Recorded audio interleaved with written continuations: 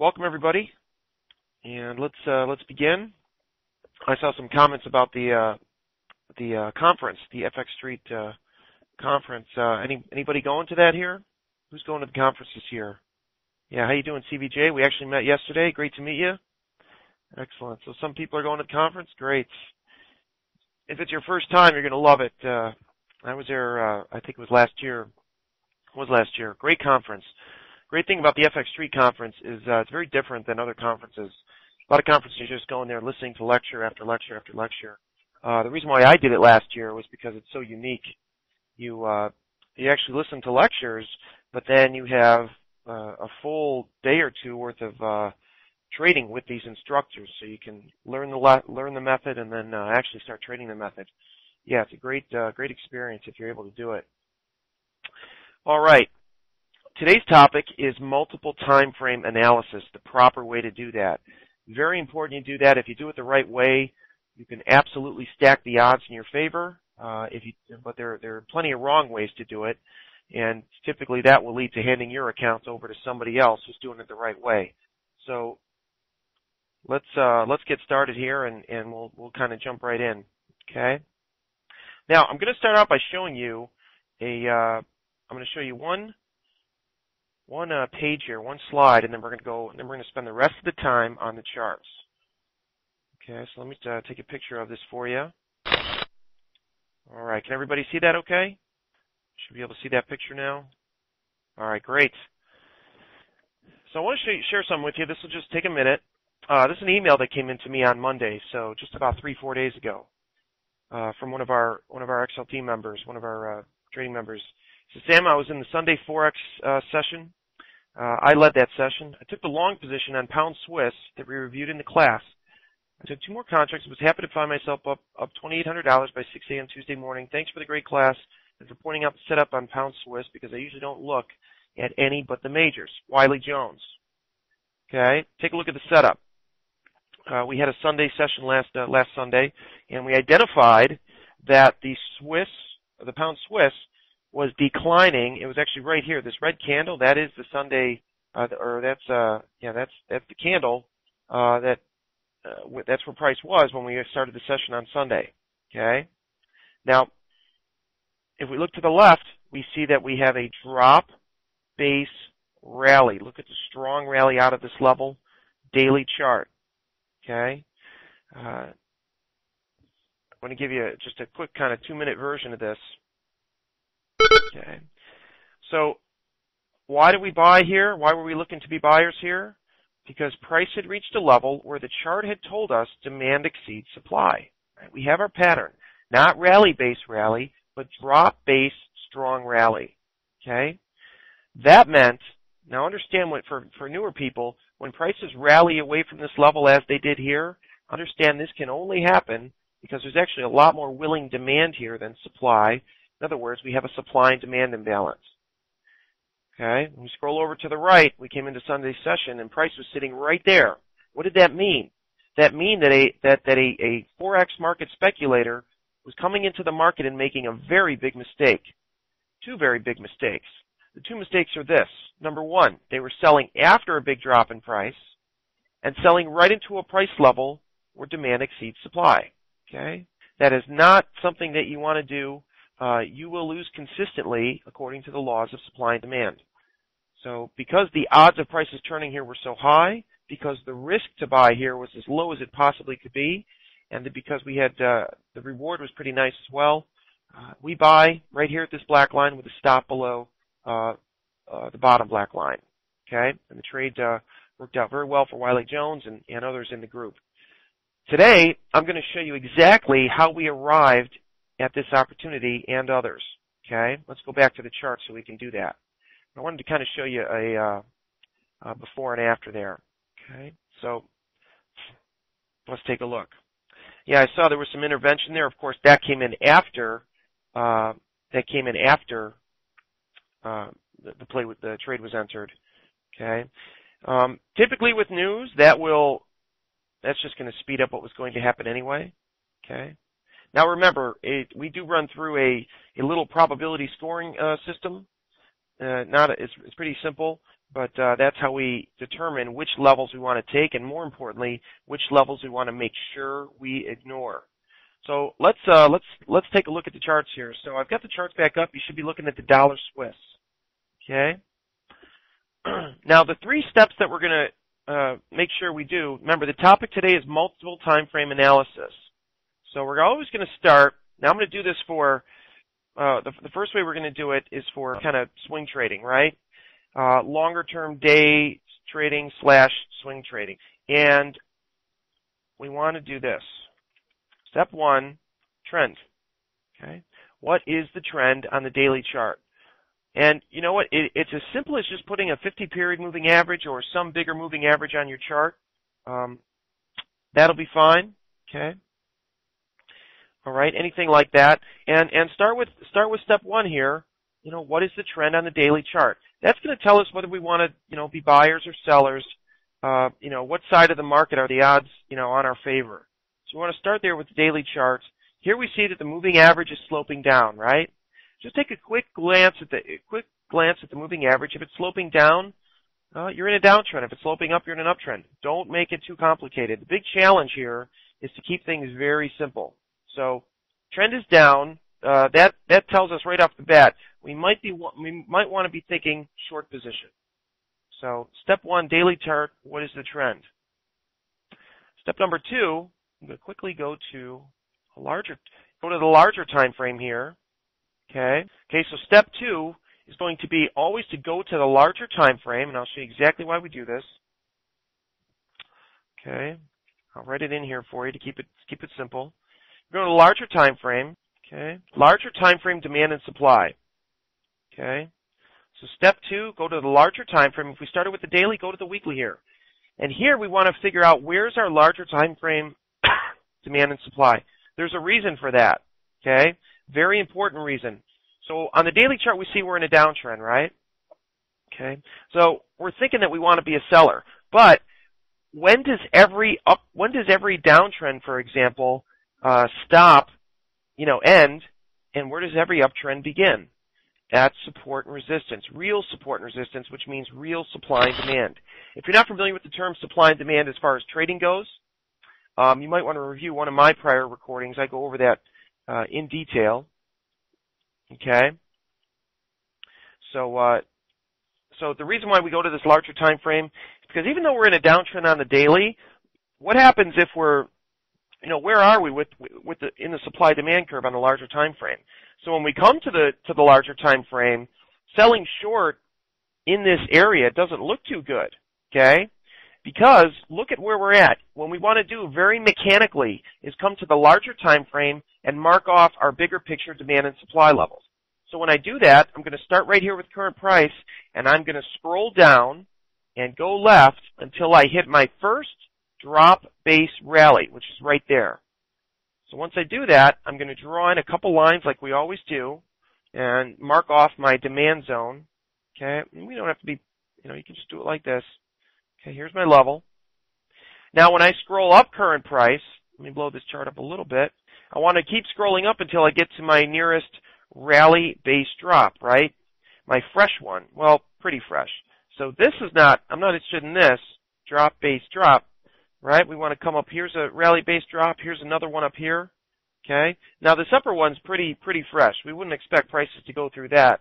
Uh, that's a pretty solid level looks to be a pretty solid level because prices haven't been back to that level yet. Okay? All right. So given, oops, here let me uh, let me get the chart. All right, so here's the daily chart. Here's the uh, weekly chart. I'm sorry, I, th- I thought you could see all the charts at once uh, when I was doing this. My fault. Okay, there you go. All right, so now we're on the larger time frame of the same market. Okay, so we saw that we're in a downtrend on the daily chart. But even though we're in a downtrend on the daily chart, um, we we need to know where we're at with regard to larger time frame demand and supply. Okay, so you should be able to see the weekly chart now. Okay, let me scrunch this up for you. So step two, larger time frame demand and supply. Now, when we when we look at where we're at, we see current price. Are we closer to larger time frame demand or larger time frame supply? Okay. In other words, should we still be aggressively shorting this market? Um, and when we come to that larger time frame, we see that maybe that's not such a good idea, right? Does everybody understand that? Okay, you see how we're we're much closer to larger time frame demand than we are larger time frame supply. Okay, so given given this uh, given this fact right here of this of this larger time frame chart, I still want to be shorting in this market, but nowhere near current price. When I go and do step three, which is actually finding pinpointing my my entry point, I'm going to be looking uh, well above current price. Okay, because I don't want to be selling short anywhere near this larger time frame demand, just like I don't want to be buying anywhere near this larger time frame supply. But the only only way I'm going to know that where I'm at is if I go to this larger time frame. So now let's do step number three. And don't worry, there's only three steps. Okay. So now you're looking at a chart, uh, an hourly chart.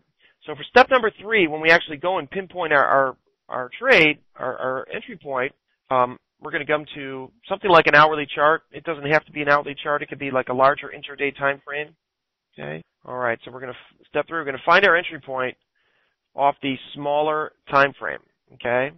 So now I'm on a small, uh, I'm on a smaller time frame, 60 minute chart. All right. Yeah, Ed, uh, I see your question there. When we get, when we get down to that level on the, uh, on the Swiss, yes, we'd be looking for a long position. That's why we don't want to look for short positions anywhere near that. So when I get to the hourly chart, I'm just going to scrunch this up a little bit. Well, I'm not going to scrunch it up too much. Let me blow the chart up a little. So now I see current price, right? 104.29. All right. When I look to the left, remember I want to look left now and find my nearest rally-based drop that is fresh. When we say fresh, we mean a, a, supply level that has not been revisited yet. We want the odds stacked in our favor. So I'm going to start here. I'm going to scroll left. Okay, I come to this congestion area, but that's not really rally-based drop. I'm going to keep going up the price ladder until we get to this. Rally, base, strong drop in price. Just the opposite of that pound Swiss that I showed you we took earlier in the week. I'm going to wrap my supply, my supply lines around this to create that sell zone. Alright. And I see we're right around 106 on the hourly chart, which is well placed on the larger time frame curve. So now what I've done is we've identified that the daily trend is down. Okay. We're just, you know, we're putting some rules to this, some structure. Without rules and structure, I think it's impossible to make money trading. Okay. Uh, that's just my opinion though. Here we go. So we, we saw that step one, our, our, the daily trend is down. I'm just using a 50 period moving average there. I went to the larger time frame to see where our larger time frame demand and supply levels were, which tells me whether that daily downtrend is likely to end soon or not. And it also shows me where to look for my entry points. So if I'm thinking of shorting because we're in a downtrend, I want to make sure we're shorting far away from that larger time frame demand level. And so when I come down to the hourly chart to pinpoint my entry price, um, we find that here. Okay. Now, what do we like about this level? what's what's the best looking thing about this level? Anybody want to throw it out there? What, what's so good about this supply level up here? Yeah, strong drop. So everybody that answered that, has probably been in these uh, probably been in these sessions before. So nice nice job there. Okay. Yeah, FID. Uh, that's that's what we're doing now. Okay. All right. So strong drop from this level uh, indicates a big supply and demand imbalance up here. Okay. The other thing that's nice about it is it's well placed on the curve in the larger picture. Let me just go back to that larger time frame. All right. Uh, right here. And if we look at where 106 is, it's going to be right here. Okay? So we're shorting right here, you know, nice and far away from this big demand level, which means we have a nice profit margin on the downside. All right? Now, you may think that that hourly level that I just put up there, you know, is kind of far away from current price. You know, that, that entry is not going to take place for a while. But here's the thing. Uh, you know, in the, in the, in the program we, we run, you know, we have four sessions a week and by putting these types of levels on, on all, you know, a lot of different pairs, there's always a trade right around the corner. Okay? Right? The key, the key is to looking at, you know, non, you know, somewhat non-correlated pairs and applying a very high probability strategy. Right? You're still going to get a, a decent trade count, but, you know, most of your opportunities are going to be really high quality. Okay? So that's kind of our three-step process that we want to focus on when we're doing kind of longer-term uh, day trading or swing trading or even position trading for that matter.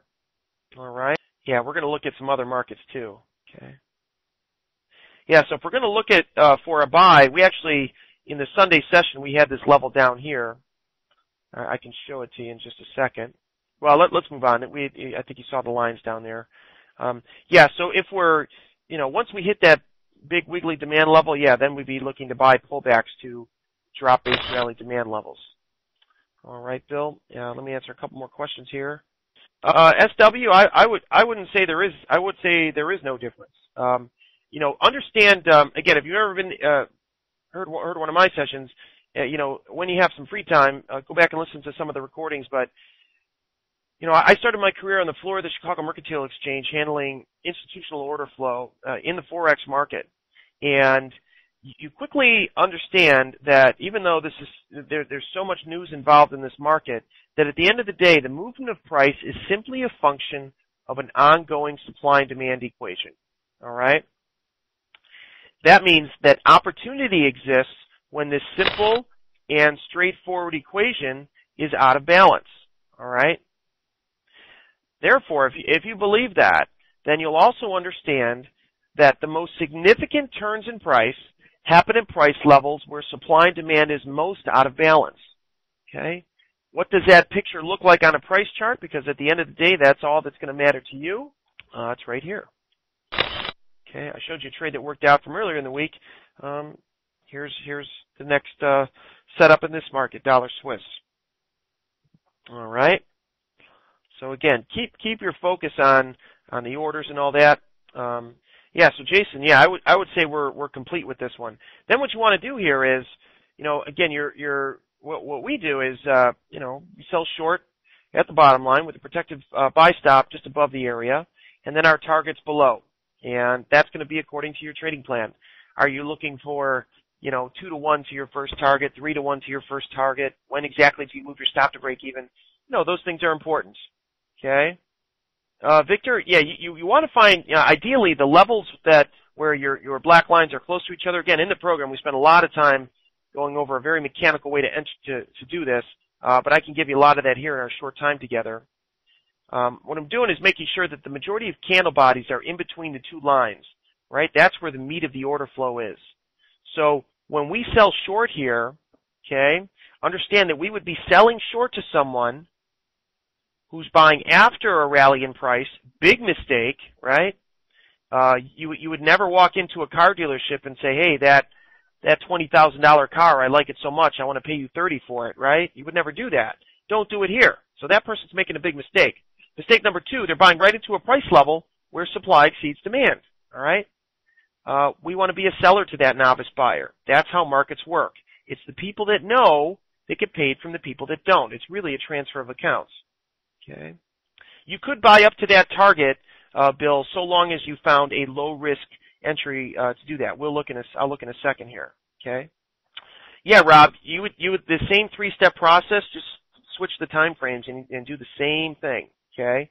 And and Rob, you would do that if you want to make make uh, you know reduce the risk a little bit. Um, of course, you might also reduce the reward, but if you want to bring these black lines a little closer to each other, just do the same thing on smaller time frames. Okay. And Victor, yes, if, if, if the lines are too wide, meaning your distance from entry to stop is too wide, just, uh, yeah, ignore that level and move on to another one. That's one of the biggest things, uh, that, you know, one, one of the most frequently asked questions that I get, and what you have to understand is, you know, out of every 10 levels, supply or demand levels I'll see on a chart, I'll probably ignore eight of them, right? I'm looking, I'm looking, I'm only looking for low risk, high reward, and high probability opportunity, and that is certainly not available, offered uh, with every level on a chart. Okay, Jose, great question there, um, and the answer is it all depends on what kind of profit margin you're looking for, right? Okay, it all depends on what kind of profit margin you're looking for. If you ever been to the racetrack, right? I'm not a, I'm not a big uh, uh, gambler, but if you ever been to the racetrack, I mean, if you have three horses that are relatively equal, which one are you going to bet on? You're going to bet on the one that's giving you the best payout, right? Okay? It's it's the same thing here. Take that same logic into here. All right? We, that that's the beauty of trading. you know, uh, uh, people people often compare trading to a casino, and uh, and then there's a lot of people that say, oh, don't do that. Trading's not gambling. Well, it is. I mean, what what's what's the difference? But and I and I don't, I don't want to use gambling in like a negative sense, but it, it's speculating, right? Think about it. When uh, you know, when Pepsi or one of the you know Pepsi or Coca Cola buys commercial time at the Super Bowl, they're putting out a lot of money hoping for a return. There's no guarantee on that return, right? So they're they're speculating as well. But but how about what we do, uh, which which is speculating in the markets? this, uh, you know, compare this to how things are run in Las Vegas, right?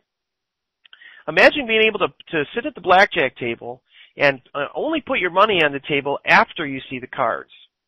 And then have the ability at any point to put as much money down as you want, right? Imagine those odds, right? Uh, that's what we have here in Vegas. I mean, in, uh, in, in trading, alright? The problem is a lot of people don't have discipline and that's, that's a big issue, okay? Yeah, you don't have to be in the market all the time. All right. The people that have the patience and discipline are the ones who get paid from the people who don't. Okay. Jack, uh, a couple more questions here and then we'll move on. Uh, if a supply demand level gets fully penetrated through a long wick, then you get a reversal signal. Would you take, whoops, let me just see. Would you take the trade or we're still good? Uh, Jack, if, if price went through a level, I would say that level's no good anymore because if it was a strong level, uh, it is physically impossible for price to go through it. You know what I mean? So I would go look for the next one. And if you're finding that that is happening, you know, too often for you, that means you're simply looking uh, in the middle of the curve. So you want to go further out to the extremes. Okay, and so so practice what we did on the weekly chart there. Okay. All right. Let me just. Uh, okay. Here's a good example. Someone asked to someone asked to show uh, an example that wouldn't wouldn't be good. Well, here's one right here. Okay. Here's a rally-based drop. Here's a drop-based rally demand level. Okay. Now let me recapture the chain, uh, the screen. I can't talk here. Pretty early in the morning here in Southern California. Um, I don't live here though. Okay, so take a look at those two areas right there. So notice rally-based drop supply and demand right here. But in both cases, if we were to draw lines in these, look what happens both times this, this thing fails miserably, right? I'm just going to draw some lines around that one, some lines around that one. All right. Now notice when price came down to this level. Okay, there we go. You should be able to see it now. So notice that when price came down uh, to one second, let me fix this. There we go. When price came down to this level here, it, it blew right through it. Well, it stopped there for a little bit and then fell through it. When price came up to this one, it went through it like it's not even there. You know, so you might look at that and say, well, how does that happen? You know, these are decent levels. Look at how strong price moved down to this level. Well, you need a profit margin. The profit margin is the distance between your two levels. Okay? Let me show you. Okay? Because the distance between these two, one of the, uh, we call the, we call these things odds enhancers in the, uh, in the extended learning track program at Online Trading Academy. And one of the, one of the odds, most important odds enhancers is profit margin. Just because, here's, here's the, here's the important part. Just because you have a supply level and a demand level does not mean you have a trade. You have to have a significant distance in between these two. Without that, that is high risk, risk trading. Understand that the greater the distance between your two opposing levels for, for potential trades around the corner, the greater the distance between these two, your, your risk reward is becoming much better and the probability of the trade is also dramatically increasing because you're moving farther away from equilibrium and, and much farther out on the, on the, on the curve, right? In other words, you're stretching the rubber band more and more. So, okay. So if you start doing this and you start taking every level that shows up, yeah, they're not going to work and they shouldn't. So here's the thing. Because the risk reward here is not ideal, Okay? You know, understand that that also um, hurts the probability of the trade working. Okay? Small profit margins are always found around equilibrium. Large profit margins are found out at the extremes. That's why we go through our our uh, kind of our three-step process, right? Well, Bill, stick to larger time frames if you want to, but that's not the main point. It, it's a good point there, but it's not the main point. The main point is whatever time frame you're looking at, make sure there's significant distance in between your levels. And those are the trading opportunities that are likely to work out best. You're right, Rob. Price also stalled in front of that buy level. Yeah, this is a big, big red flag saying uh, do not buy here if this starts happening right before your level because that just hurts the profit margin, uh, which it did when price came back into there. AB, that's going to be uh, that's going to be up to you. So the bigger you make that number, the better. You don't want to make it too big so that you don't get any trades. But uh, you know, I, I look I look for at least three to one to the first uh, uh, target. Okay, and and again again I, I also go over those odds enhancers, so that's important. Uh, Jose, do you look at the indexes or confirmation of turns? Um, typically, I'm using uh, limit orders. Okay. All right. Yeah. So let's let's get uh, let's get past this and take a look at some other markets. Hopefully, what we've talked about so far is uh, makes sense to you. Keep in mind this little three-step process that we've uh, talked about. Okay. Doesn't mean you have to use these exact time frames, but make sure you use some kind of combination of uh, of time frames like that. Okay. Here is the dollar uh, Canadian. Right. Someone I think SW you wanted to look at this one, right? Okay. Aussie Canadian, I'm sorry. Okay, we can pull that one up. No problem. Let me get to it here. All right, SW, I figure since you're typing capital letters, you must really want to look at this market. So let's do it. So again, let's let's now now if you haven't noticed with me uh, in the past, I am uh, extremely mechanical. I'm I'm uh, extremely rule based. Uh, I don't ever stray from my rules. You could put uh, the best strategy in the world in front of me. I am not interested. I do what I do and it works for me and I just stick to the rules. So having said that, I'm going to start right with this daily chart here. Okay. And there it is. You should be able to see it. I just, uh, I just recaptured, uh, took the picture of it for you. Okay.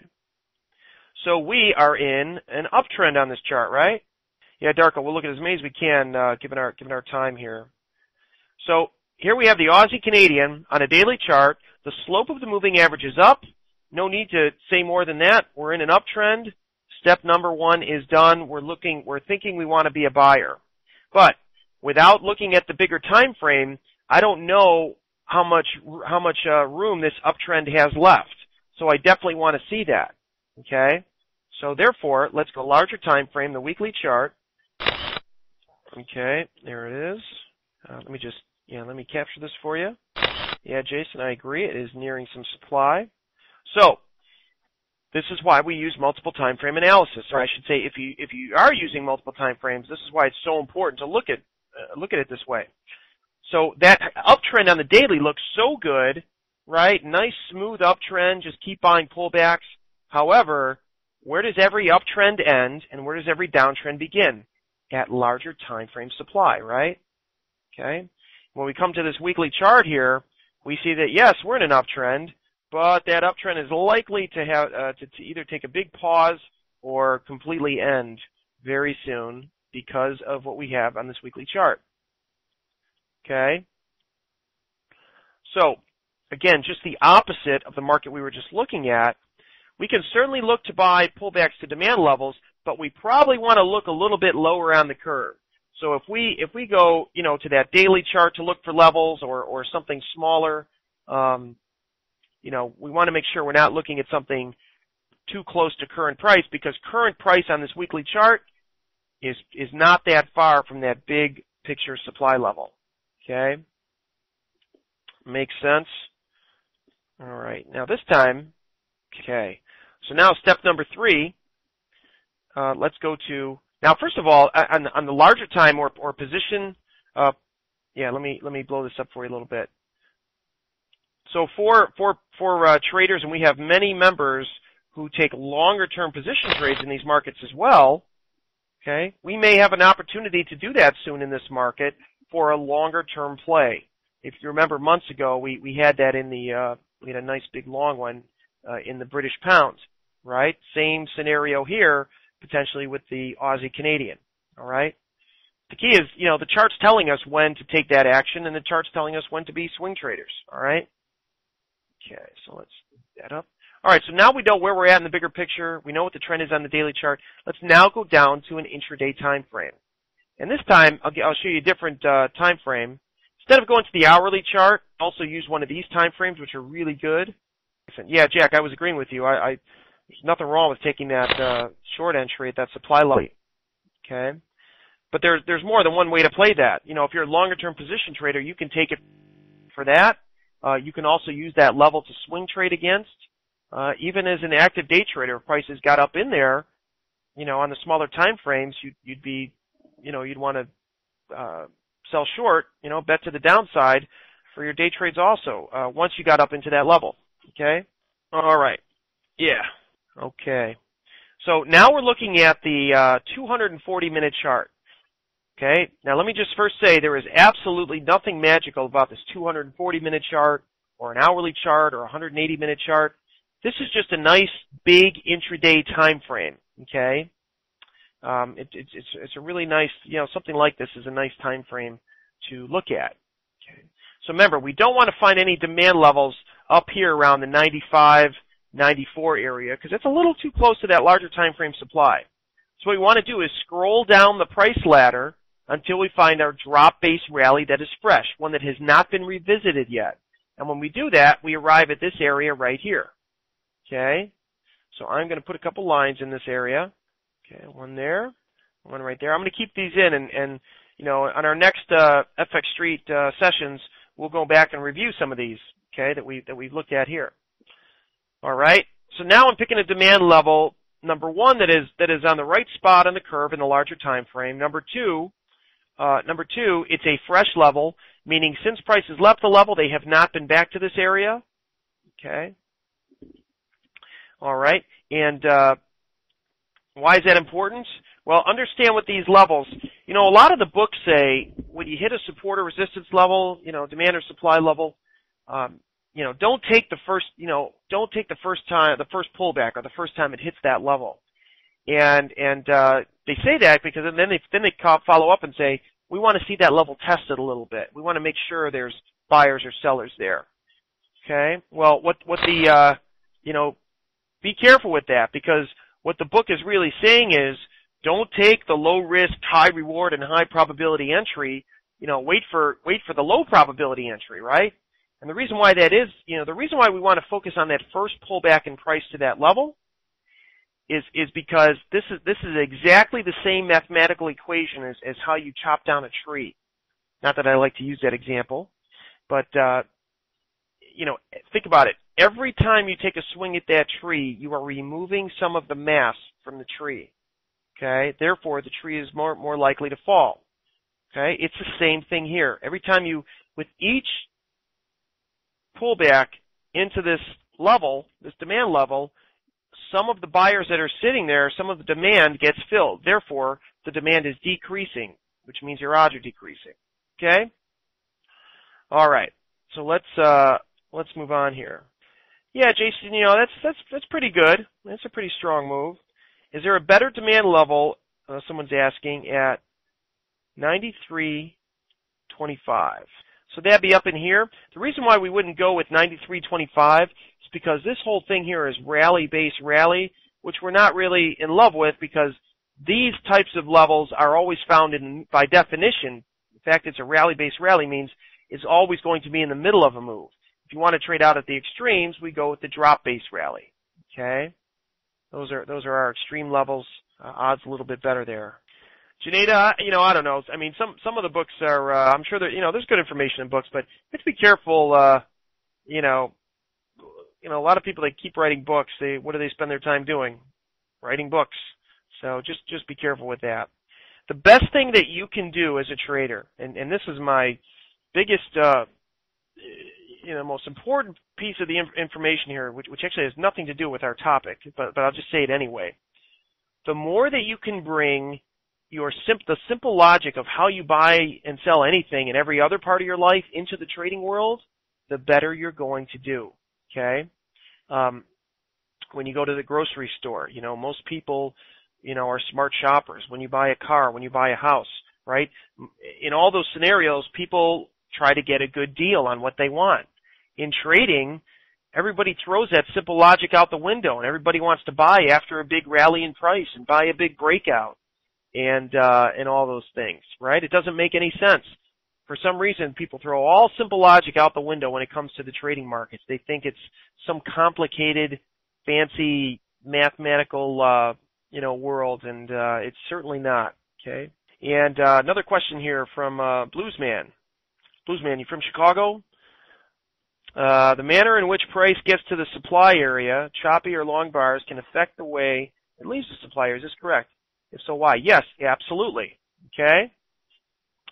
Uh, so what he's saying there is the way that the way that price reaches a level, uh, kind of, and he didn't say this, but I'll kind of add this to it. Uh, the way price reaches a level goes hand in hand with with how it's how it leaves level. Let me show you an example. Um, the trade that uh, we took the other day. Um, I'll show you right here. You'll see that's exactly the case.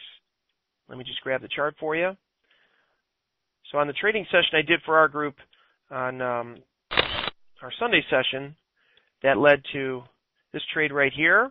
Take a look at how prices came into the level. Okay, this is that chart. Notice the strong drop in price and almost an equal rally out of that level. That's because within these red candles here, there's really not much to stop a rally in price. So when price comes down and came down into our level, you know, it kind of shot right back up, uh, uh, right back up. Okay, you're going to see that all over the place. And if you look left here, there's, there's just no. There, this is a pocket of, of price action where there's really no supply or demand. That's why you're seeing prices move so quickly through those levels. Okay.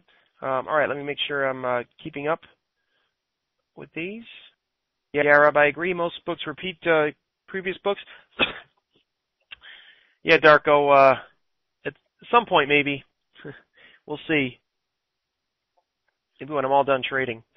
Uh, yeah, can we look at the euro? Yeah, well, let's look at another market here. Oh, sorry about that. Hamburger, I was just answering uh, your question there. Yeah, just because remember, remember, there's just because we have a level doesn't mean it's a level that we that we want to take a trade at. Remember, we run through this little probability scoring system. Um, I'll try to get into that a little bit more.